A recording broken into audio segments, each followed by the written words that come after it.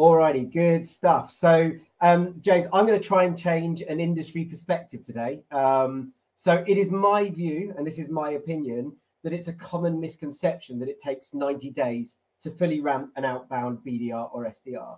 In fact, if you look at the Bridge Group report, which I've got some data on the screen just now, it suggests that it's 90 days and it's pretty much always been about 90 days. And it goes as far as to say that it's actually a universal truth. I mean, big quote there. Guess what? That data is based on what companies tell them. And guess who tells them that within the companies? The people who are responsible for ramp time being successful. So I'm going to try and convince you why this is nonsense, why I don't believe this is really the case. PwC did a research uh, uh, piece on this as well. Guess what? They found out it was exactly 90 days as well. LinkedIn surveyed thousands of organizations globally. Guess what they said? Yep, you guessed it 90 days. Isn't it funny how it's exactly the same for everyone in every organization, apparently? I mean, if you ever question why this statement isn't arranged, why it might be between three months and six months, I mean, the reps leave work on the last day of their third month feeling not quite 100% ramped. Maybe they're 80%. They go to sleep, they wake up, they get to their desk the next morning, they're having a sip on their morning coffee, and there's a moment of realization. They turn around to their colleague and they say, Do you know what? I'm just feeling 100% ramped today. Things are not binary like that. It doesn't work like that. The reality is that, sure, it can take three months to fully ramp an SDR. In fact, you could argue that in the right environment, with the right tools, the right mature team around them, the right uh, mature processes and messaging, it may well take much shorter, but it's highly unlikely to do so. And what's more likely is that 90 days or three months has just become the default answer. This is just what everybody says. So we have to say that to, to the research firms and to anybody else that, that, that, that, that talks about it. And that tells me one thing the very few people are actually measuring it using data and facts, and very few people actually know how long it takes to fully ramp an outbound SDR or BDR within their team. So, very quickly, I'm going to try and justify to you why I think the average time to ramp an outbound SDR is more like six to nine months. There are eight reasons. I talk fast, so try and keep up. Number one, ramp time is completely dependent on the maturity of your outbound program and team.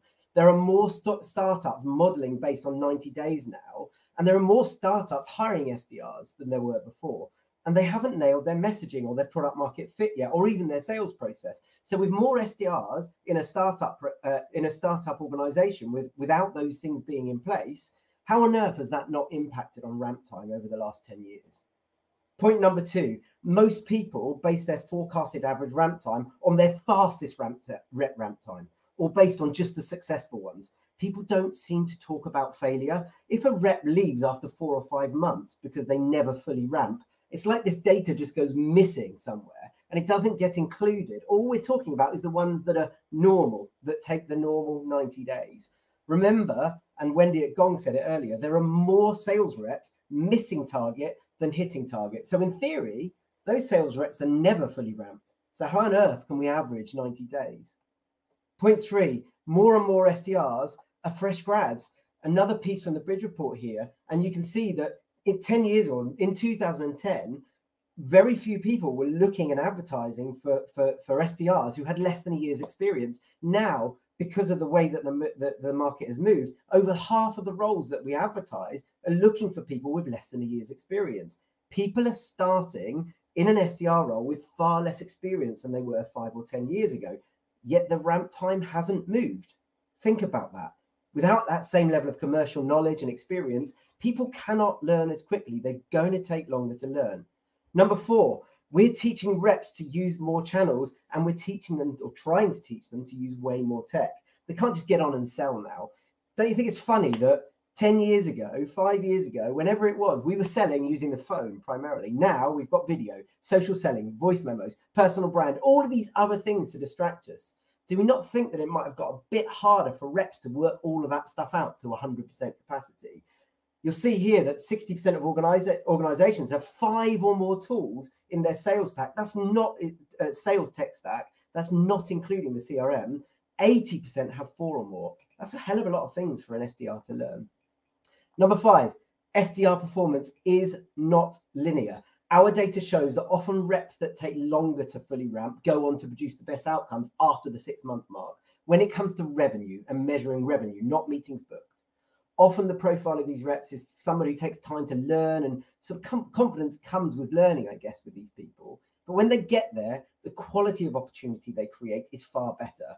Often reps, reps also slump every three to four months. They go up and down. When most people think about how performance changes over time, they imagine this straight line. We start at our lowest point and we improve consistently. And while that might seem logical, the data tells a very different story. At AIR, we measure the first six months of our outbound SDR programs over a long you know, several years that we've run for lots of clients. And our research team have discovered that the first two weeks of activity on average were the best weeks until we re- reached reached about week 10. So rather than linear progression, performance tended to actually drop before it went back up. And you'll see here we call that the valley of disappointment, where SDRs think, oh, I can't do the job anymore.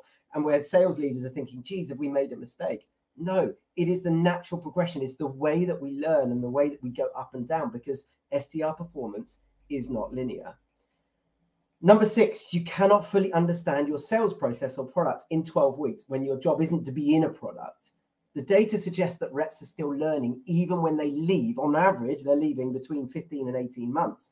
So if they're still learning and improving at that stage, how on earth can we claim that they were ever fully ramped in 90 days?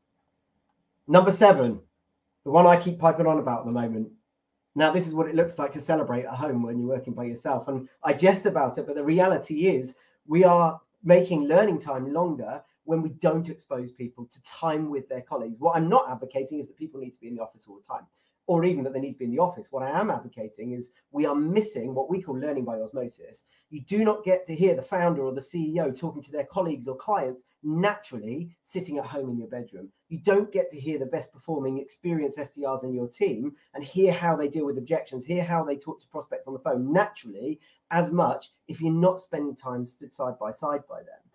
So this makes it really hard for people to learn and is extending the learning progress uh, process. And we will see SDRs take longer to ramp as a result.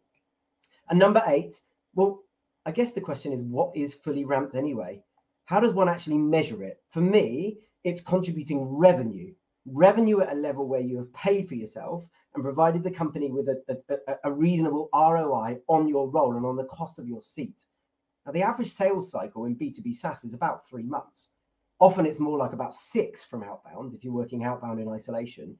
So, what are we measuring fully ramped on after 90 days? Are we measuring it on the ability to book meetings that, quite frankly, we have no idea will turn into revenue or not? So, these are just some of the reasons why I think we're looking at rep ramp time in the wrong way.